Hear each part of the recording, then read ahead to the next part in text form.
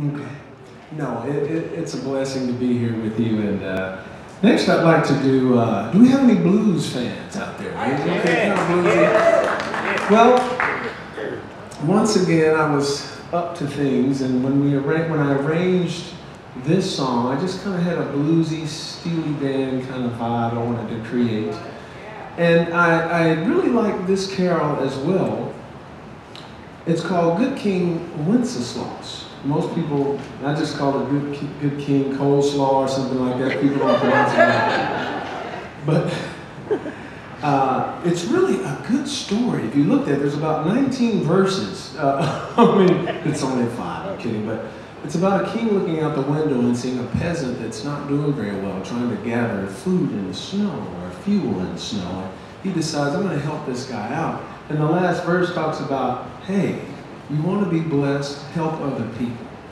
That's really the theme of this. So this is my version. I call it Good King W.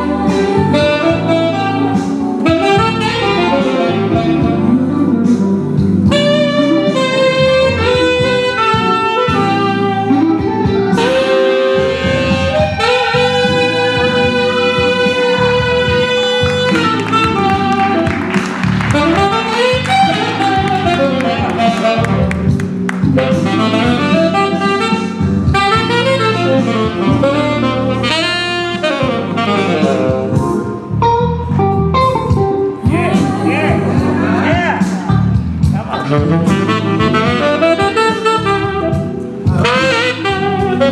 you.